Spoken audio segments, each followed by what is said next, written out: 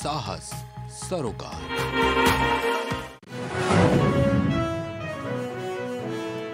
केंद्रीय मंत्री पहुँचे गाजीपुर। केंद्रीय मंत्री गिरिराज सिंह ने कई मुद्दों पर की बात।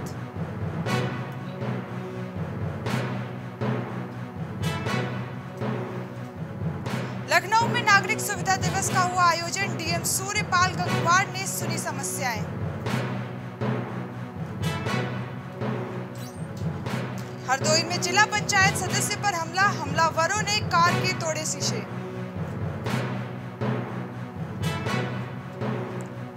हरदोई में अधेड़ की बीच सड़क पर पिटाई, महिला के साथ अश्लीलता करने का लगा आरोप।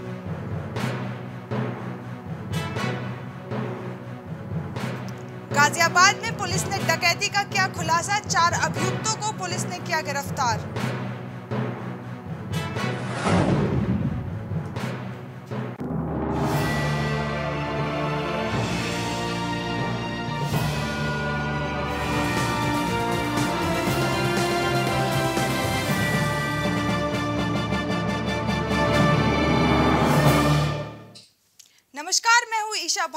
आप देख रहे हैं प्राइम उत्तर प्रदेश। तो शुरुआत करते हैं उत्तर प्रदेश की बड़ी खबरों के साथ। लखनऊ में शहरी क्षेत्रों में नागरिक सुविधाओं की समस्याओं के जल्द से जल्द निस्तारण के लिए लखनऊ विकास प्राधिकरण गोमती नगर में नागरिक सुविधा दिवस कार्यक्रम का आयोजन किया गया।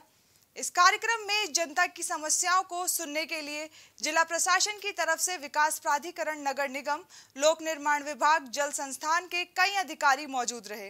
नागरिक सुविधा दिवस के अवसर पर मंडलायुक्त डॉक्टर रोशन जैकब, जिलाधिकारी सूर्यपाल गंगवार ने जनता की समस्याएँ सुनी।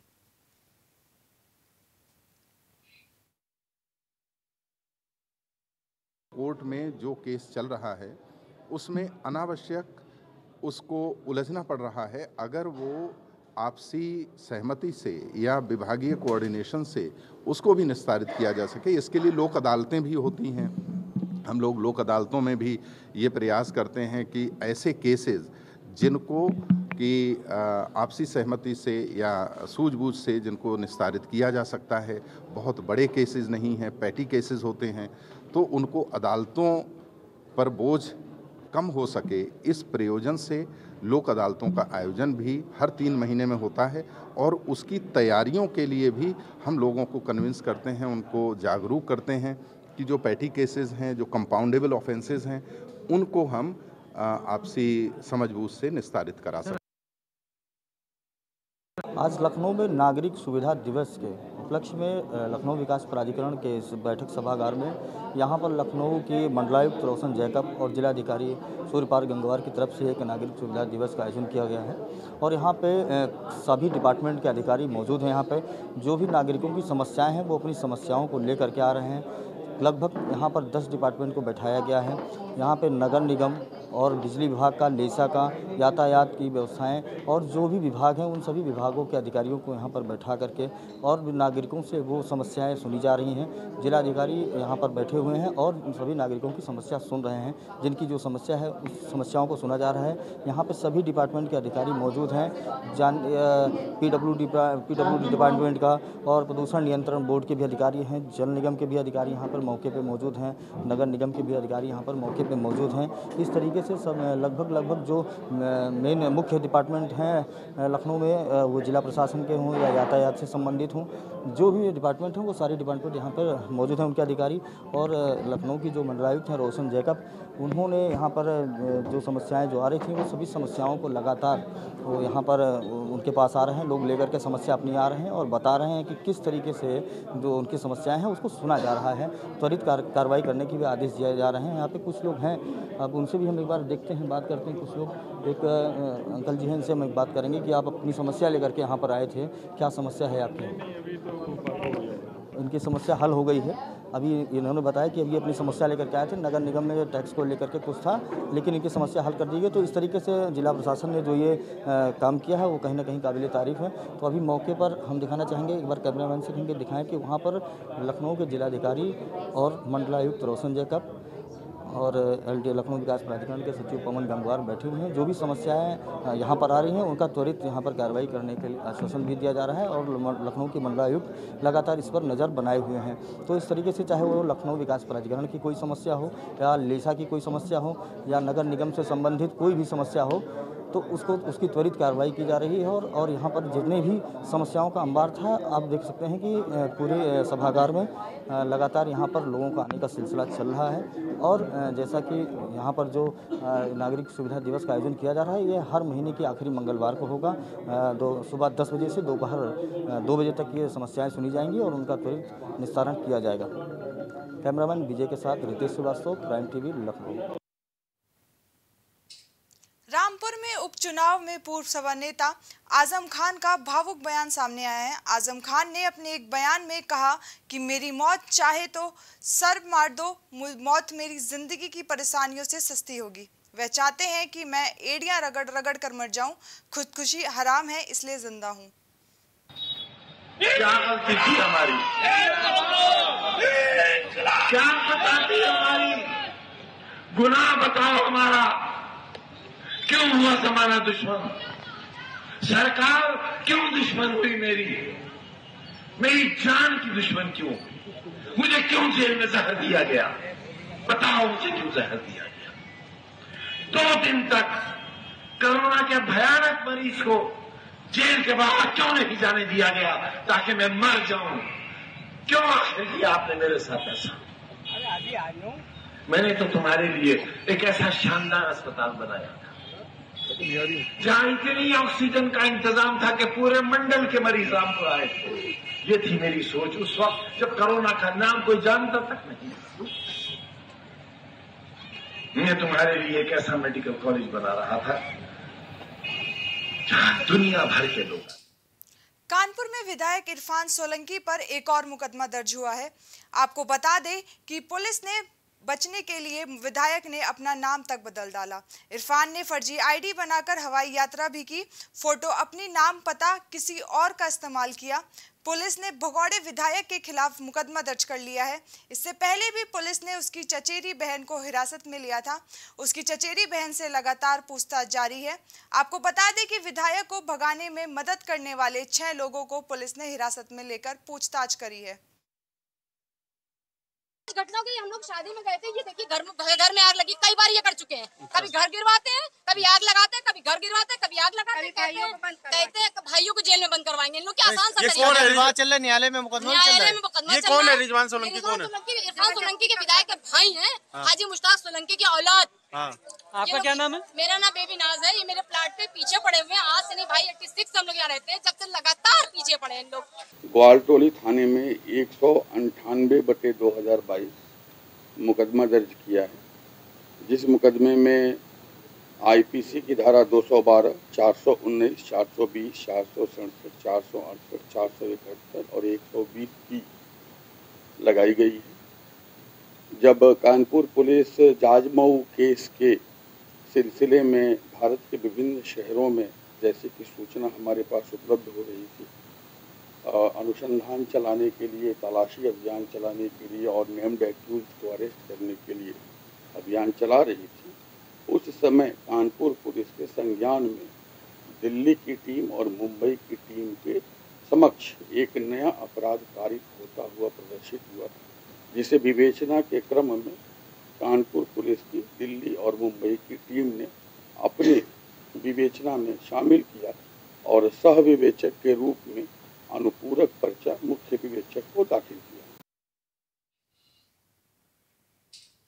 हरदोई में जिला पंचायत सदस्य पर कुछ लोगों ने हमला कर दिया। लोगों ने गाड़ी पर हमला कर अभद्रता करने का प्रयास किया।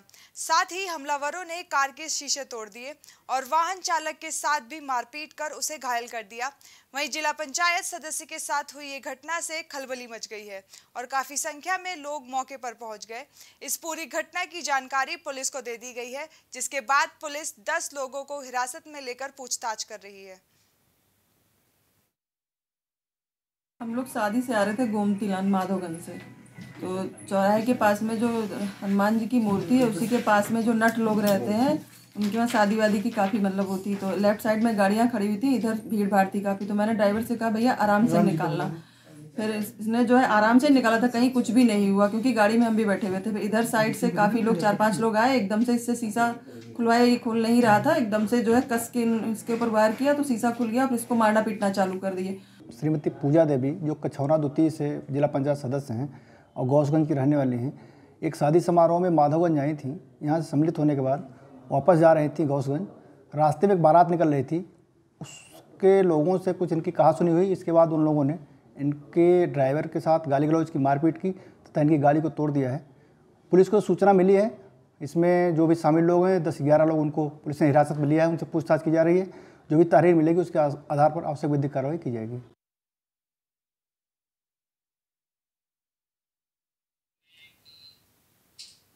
गाजियाबाद में बीते दिनों गुप्ता मेटल्स में हुई डकैती का पुलिस ने खुलासा किया है। आपको बता दें कि मुठभेड़ में वंचित चल रहे चार अभियुक्तों को पुलिस ने गिरफ़्तार कर लिया है। वहीं एक हैंड कांस्टेबल, वहीं एक हेड कांस्टेबल जवाबी मुठभेड़ फायरिंग में घायल हो गया। पुलिस ने चारों अभियुक्तों के पास से लाखों की कीमत का सामान भी बरामद किया है। ये खुलासा क्षेत्राधिकारी ने प्रेस कॉन्फ्रेंस कर किया। एक डंपिंग ग्राउंड है, वहाँ पे माल के साथ हैं। और ये फिराक में थे कि इस माल को कहीं ठिकाने लगाया जाए, ताकि लगातार पुलिस इनका पीछा कर रही थी। मीडिया में आ रहा था, सबको जानकारी भी थी ये बात। तो पुलिस द्वारा जब इनके ठिकाने का रेड डाली गई तो वहाँ से दो व्यक्ति शौता और ये किशन की गिरफ्तारी हुई है, तथा इनके पास से अट्ठाईस कट्टे कॉपर का माल, जो कि लूटा गया था घटना में डकैती के वक्त, वो बरामद हुआ है। उनके पास से चोरी की मोटरसाइकिल, साथ में एक नाजायज़ असलम, कुछ कारतूस एवं एक चोरी की मोटरसाइकिल बरामद हुई। ये हथियारबंद डकैती की घटना थी, जिसमें पुलिस का बहुत ही अच्छा रोल रहा है। पुलिस ने बहुत ही तुरंत कार्रवाई करी है और ज़्यादातर लोग उसके अंदर गिरफ़्तार हो गए हैं। काफ़ी माल बरामद हो गया है, जैसा मेरे को बताया गया है। पुलिस अपनी कार्रवाई कर रही है।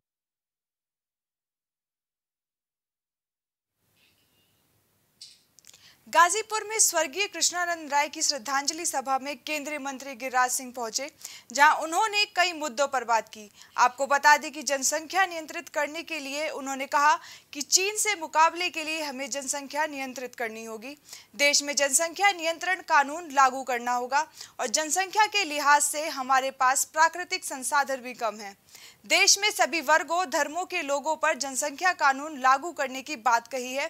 जो इस कानून को नहीं मानेगा, उसे मताधिकार को खत्म कर देना चाहिए। इसके साथ ही उन्होंने कहा कि पीएम मोदी पर कांग्रेस अध्यक्ष मल्लिकार्जुन खड़गे ने जो टिप्पणी की है, अपमानजनक शब्द बोलने वालों को गुजरात की जनता माफ़ नहीं करेगी।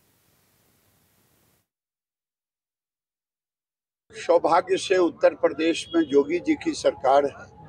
और केंद्र में मोदी जी की सरकार है।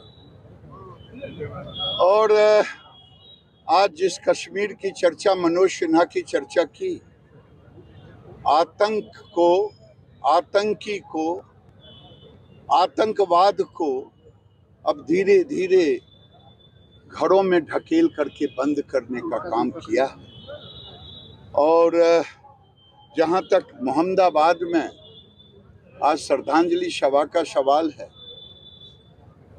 अपराधी को सजा मिलेगी? दुनिया की कोई ताकत नहीं, क्योंकि जोगी का राज है। ये कोई अखिलेश यादव का राज नहीं है, जो अपराधियों को संरक्षण मिले। खबर चंदौली के पंडित दीनदयाल उपाध्याय नगर से है, जहाँ बिजली विभाग के कर्मचारियों ने मशाल जुलूस निकाला और अपनी पंद्रह सूत्री मांगे रखी। कर्मचारियों की मांग है कि पुरानी पेंशन बहाल कर बिजली विभाग का निजीकरण ना किया जाए। इसके साथ ही और कई मांग की बात कही। कर्मचारियों ने कहा कि यदि हमारी मांगे पूरी नहीं होंगी तो हम लोग आगे और भी आंदोलन करेंगे। आज संघर्ष समिति के आह्वान पर केंद्रीय पे हम लोग पाँच बजे से डिवीज़न सेकंड से मसाल जुलूस उठा के और गंजी प्रसाद तिराहे पर जाके समाप्त करेंगे। ये हमारे केंद्रीय कमेटी का जो है आह्वान के ऊपर आज हम ये कर रहे हैं। अगर हमारी सरकार इस तरह से हमारे कर्मचारियों से अगर से वार्ता करके अगर कोई निर्णय निकालती है तब तो हम लोग अपना धरना समाप्त करेंगे और नहीं तो यह धरना कंटिन्यू चलता रहेगा जब तक हमारी मांगे पूरी नहीं होंगी। खबर औरैया से है जहाँ एक युवक अज्ञात परिस्थितियों में ग्राम पंचायत भवन के पंखे से लटकता मिला। ग्रामीणों ने घटना की जानकारी पुलिस और युवक के परिजनों को दी। युवक के मृत होने की सूचना पर परिजनों और ग्रामीणों में कोहराम मच गया। डिप्टी एसपी के नेतृत्व में शव की वीडियोग्राफी करा पोस्टमार्टम के लिए भेज दिया गया है और पूरे घटना की उच्च स्तरीय जाँच के आदेश जारी किए गए हैं। होगा तो जान नहीं पाया। आगे इसी में लेटता रहा लेट गया। और लेट गया, हम जब सुबह पुस्तक निकालने गए, सौदा बेचते हैं। किताबें, पुस्तक वगैरह तो उन्हें निकालने गए। तो खिड़की और ये दरवाज़ा बंद था। जब खिड़की खोली गई, तोड़ी गई तो उसने दिखाई दिया रस्सी। तब हल्ला गुल्ला मचा। थाना कोतवाली और के ग्राम कखावतू में जो है, एक सत्येंद्र सनाब गिरजा शंकर, जो आज जो है रात में जो है फांसी लगा के एक पंचायत भवन के अंदर आत्महत्या कर ली, जिसमें हम लोग तत्काल संज्ञान लेते हुए मौके पर पहुँचे। और दरवाज़ा जो है, जो अंदर से बंद था, उसको बड़ी मुश्किल से तोड़ के जो है, अंदर खोला गया और जो है, सौ जो है पंखे से लटका हुआ था। वीडियोग्राफी करते हुए हम लोग जो है, सौ को नीचे उठाए और तत्काल जो है एफ़ एस टीम भी मौके पर आई, उसके द्वारा भी जाँच की गई। सौ को उतरवाकर पंचायत नामे की कार्रवाई करते हुए पोस्टमार्टम के लिए डेड बॉडी भिजवा दी गई। अग्रिम विधिक कार्रवाई की जा रही है। हरदोई में एक अधेड़ की बीच सड़क पर जमकर धुनाई हो गई। अधेड़ पर आरोप है कि उसने राह चलते एक महिला के साथ अश्लीलता की, जिसके बाद महिला के साथ मौजूद एक युवक ने सड़क पर ही उसकी जमकर पिटाई शुरू कर दी। आपको बता दें कि देखते ही देखते लोगों की वहाँ पर भीड़ जमा हो गई। वहीं अधेड़ के माफ़ी मांगने के बाद उसको छोड़ दिया गया।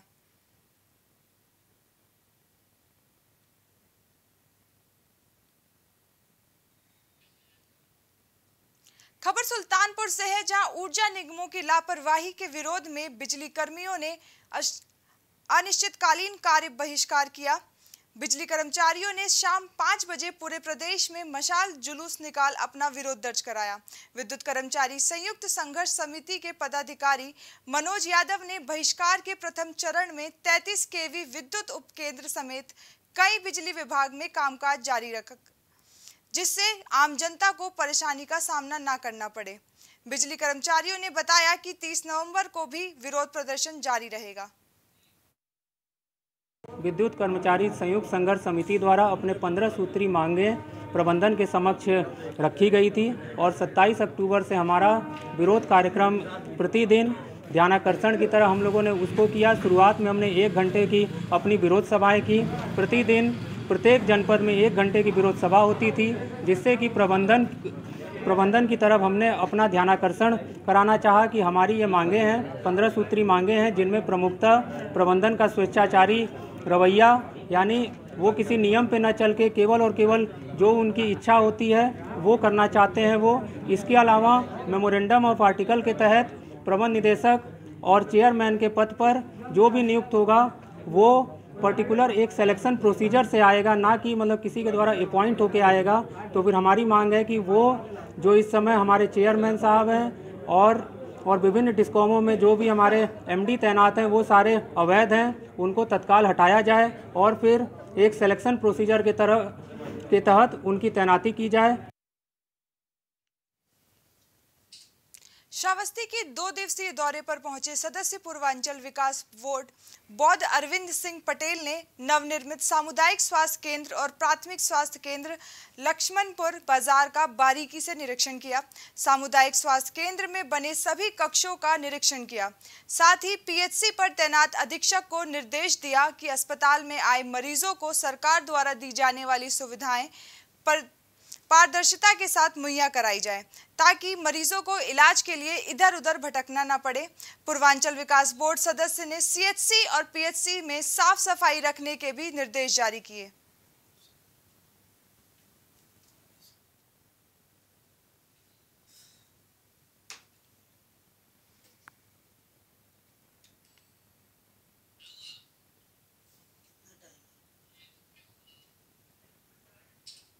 खबर लखनऊ से है, जहाँ नगर विकास मंत्री ए के शर्मा ने वर्चुअली 10 जिलों को 10 निकायों में करीब इक्यावन करोड़ रुपए की लागत से दो विकास कार्यों का लोकार्पण और शिलान्यास किया।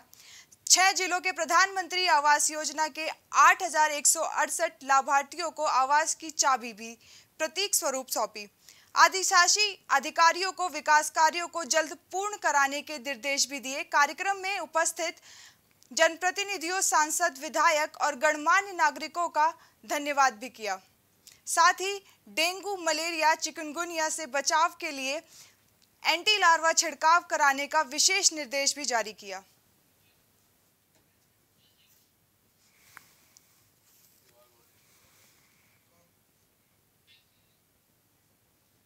प्राइम उत्तर प्रदेश में बस इतना ही। देश और दुनिया की तमाम खबरों के लिए देखते रहिए प्राइम टीवी। नमस्कार।